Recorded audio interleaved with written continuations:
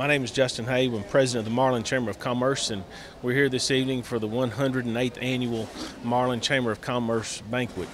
We will be giving away awards for businesses and, and uh, individuals that, that, that, distinguish themselves throughout the year, and we will also hear from Gary Toy, who is with the Sterling Group.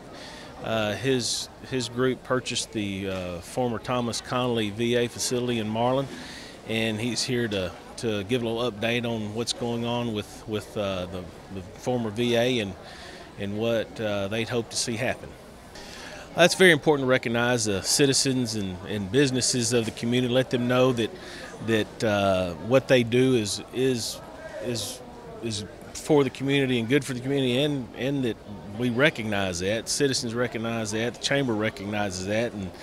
and to uh, hopefully encourage them to to keep doing business here in Marlin because without businesses in Marlin, we just won't have a town any longer. My name is Gary Toy, and I'm from Houston, Texas, and I'm uh, an investor in Sterling REIT. Uh, it's a uh, uh, real estate trust, and uh, we've come to Marlin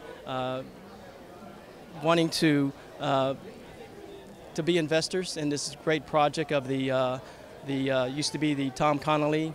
VA Hospital and we would like to see it now be repurposed for the transition of veterans coming out of the force or in life that they want to trans, uh, get educated and skilled and degreed and go back into the mainstream of life with these skills. We kind of fell in love with the water. Uh, we had an article that was uh, in the Chronicle last year, and uh, we came for that purpose.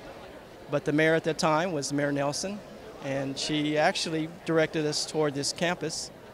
or the hospital, and uh, one thing led to another, and it became available, and uh, we saw a great opportunity to make a, uh, a big difference in the veteran causes. Well, we're looking to, to to get these the ancillary buildings out uh, working uh, first because we can uh, hopefully catch the fall semester at TSTC in Waco and also MCC in Waco to for the veterans to be educated through the two different programs, whether it be technical and vocational with the uh, TSTC or the uh, our four-year program uh, with the MCC school over there.